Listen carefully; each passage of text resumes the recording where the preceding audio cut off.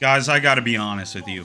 Valve has really been pissing me the hell off lately. Their treatment of their customer and player base is just absolutely unacceptable. And I'm really pissed off about it. And in this unscripted video, I'm just going to be giving you my unfiltered thoughts. So just a heads up in advance, I, I, apologize if I sound more angry than usual in this video. But as I'm sure many of you are aware, uh, there has been a lot of discussion happening lately in the Team Fortress 2 space concerning Valve and all of this other stuff. But I want to go to even before that, to the summer of 2022, when this hashtag SaveTF2 movement happened. Me and a bunch of other creators and the fans of and players of TF2 as well all went on Twitter and voiced our concerns about the state of TF2 TF2 with the bots and everything. We did get some attention in that aspect uh, from a single tweet that just turned out to be an outright fucking lie.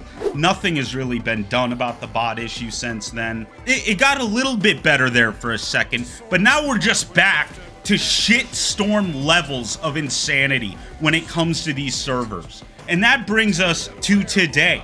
A small update was released on January 9th, and ever since then, the item servers have been down. You cannot use your items at all in any sort of casual server. I believe they affect community servers as well. I don't play community servers a whole lot anymore. Let me know if I'm wrong about that, but I believe it affects them too. So it is 100% stock weapons only. And it's not like this has never happened before, right? I mean, we've had periods where the item servers have been messed up and yada yada. I have been playing TF2 since like 2008. I cannot recall it being this long, especially with no no communication at all, ever. Like with Valve, there is never anything. They just think it's perfectly fine to just give the people that have spent thousands of dollars on keys and cosmetics in this game the middle finger. No, every other company in the world that has servers like this, if they go out, even like two the 2Ks of the world that have the shittiest servers imaginable that are run off of a goddamn potato, they will at least send out a tweet saying, hey, we know there's an issue right now. We're looking into it. We'll let you know when it's fixed. But with Valve, it's just nothing. And on top of that, with these item servers being down and with the bots fucking everywhere, they go ahead and decide it's a good idea to take down fan projects like Team Fortress 2, the Source 2 thing, and the Portal 64 fan creations. Don't get me wrong. I understand they are completely in their legal right to do so. But you're not fucking doing anything with these properties. The the Portal one I can kind of understand a little more because it was using like some Nintendo things or whatever. You know, that's fine. But the Source 2 stuff, if you're not gonna port it to Source 2 or do anything with it, why don't you hire these guys to do it for you? And it, that brings up uh, another comment I get a lot. Oh, well, it, it's an old game. No one wants to work anymore. And I call bullshit on that. For those of you that don't know a whole lot about me, I work as a software developer full time. And I can tell you, no matter how old the system is, there is going to be someone that's interested in it. We still have people working on like COBOL systems, okay? And that hasn't been relevant in forever. I guarantee you there are people out there with a computer science degree or whatever, like these people who were making the Source 2 project, the people who made Team Fortress 2 Classic. Why don't you hire some of these people to create content, to create updates for your game? And I wouldn't be nearly as upset about this, except for the fact that they're still releasing cases and keys every summer and every winter. They are still making a profit off of this. They are still making money off of this. I tried to play a couple games today and just ran into nothing but bot lobbies. Nothing. I, I had one, one good game on Upward. And even then, it was so fucked. It was an unbalanced 12v6 shit fest. I know I've done a lot of yelling in this video, and I apologize for that, but as a content creator for this game, the frustration I feel trying to make fucking videos for this game is just overwhelming. I know you guys feel it too when you join a casual game and you run into bots. Yes, it's annoying.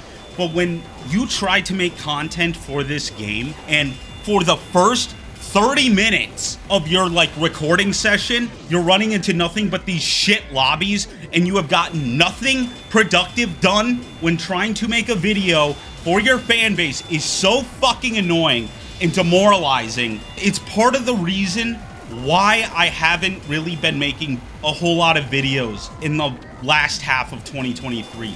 Because if I have an hour of free time, do I really want to fucking spend it wasting that time doing nothing but running into bot lobbies? And I know I'm not the only one that feels that way. And before someone comments, oh, we'll just go play community servers, I shouldn't have to do that.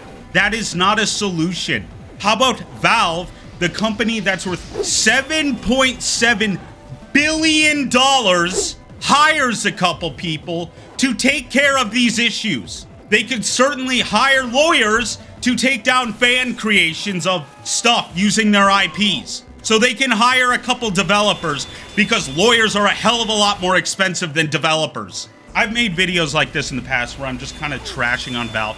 And I understand I'm never going to get invited to Valve headquarters or whatever. I don't give a fuck. I don't care. I you want to know what I want? I want TF2 to be playable again. I don't even need like major updates anymore. Just give us a little a little something.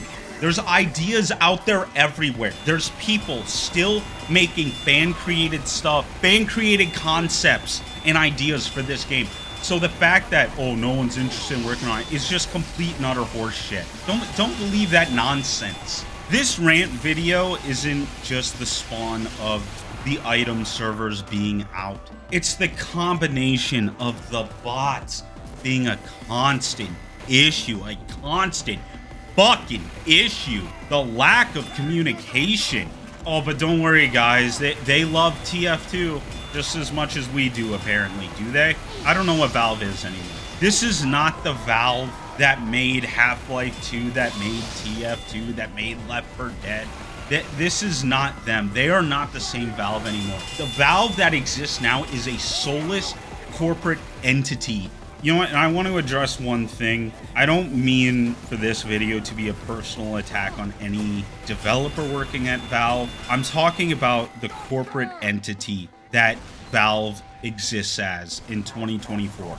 It's absolutely unacceptable. If you don't want to support the game anymore, stop putting microtransactions in it. Stop making money off of it. It's unfair to anyone that's bought a key and opened a case. It's unfair to anyone who's bought an MVM ticket. It's unfair to all of those people. Anyways, guys, let me know what your thoughts are. I'm really frustrated, and it's equally as frustrating being a content creator for this game. So with that said, I plan on putting out that Class Wars video that you guys voted on out soon, um, probably next week. I'll see you then.